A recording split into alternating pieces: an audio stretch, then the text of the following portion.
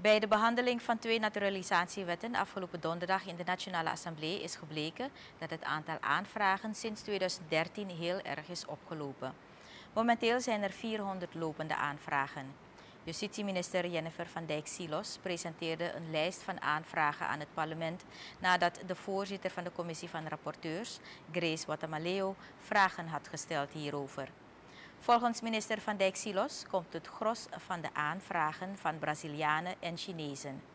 Waar het nog aan schort is dat de politieonderzoeken in het land van herkomst van de aanvragers niet helemaal vlot verloopt, zegt Silos aan het parlement. Wij proberen het nu een inhaalslag te maken.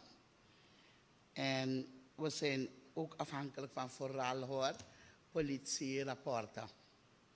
Het gaat vrij traag. We proberen een bepaald systeem uh, te ontwikkelen. Een van de belangrijke dingen is dat we zeker moeten gaan naar samenwerken met landen waar um, de grootste groep van deze mensen vandaan komt.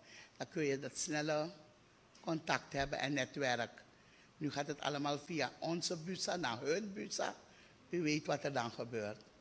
Dus uh, daarmee ben ik wel heel actief bezig om een politie samenwerken met China Brazilië, die twee landen alvast.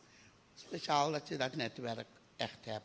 Er is een netwerk natuurlijk met politie onderling, maar um, er is een informeel netwerk en het is afhankelijk van de persoonlijke connecties. Nu gaat het om een, om een institutioneel netwerk te hebben.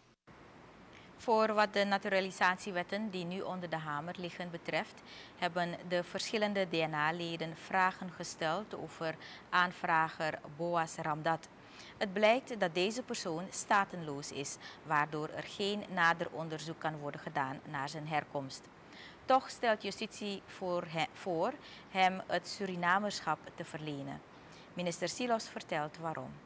We hebben de policy dat um gelet op uh, het karakter van uh, de nationaliteitenwet en ingezetenschap, op de nationaliteit, wet op de nationaliteit en ingezetenschap, dat um, wij geen stateloze mensen kunnen uh, toelaten.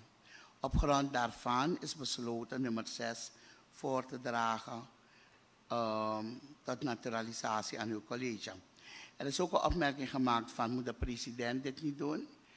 In de wet staat duidelijk dat de president het kan doen in geval de persoon hier geboren is. En deze meneer is niet hier geboren. Vandaar dus dat wij het voorstel doen.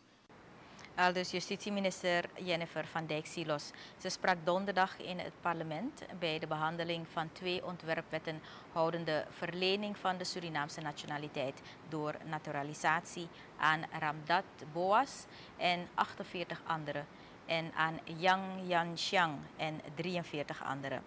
De behandeling van de wetsontwerpen wordt dinsdag voortgezet.